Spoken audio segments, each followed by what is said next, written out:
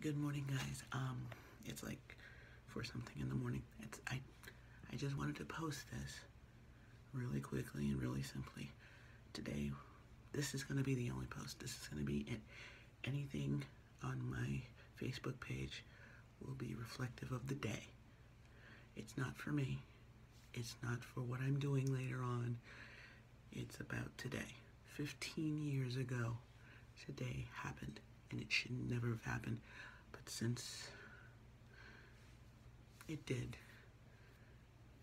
it's it's it's for them. It's for them, not for me, not for what I'm doing, not for you know wishing. I mean, I wish you all very very well today, but my focus is so not going to be on anything but them in this vlog. So please give yourself a few minutes ago. look at the names.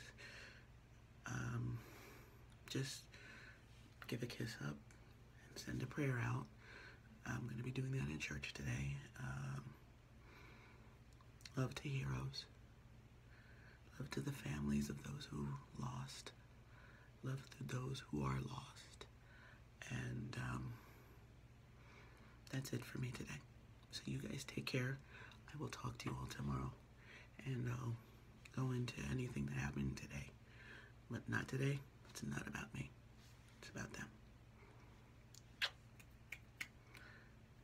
Sadly, it doesn't seem like 15 years ago.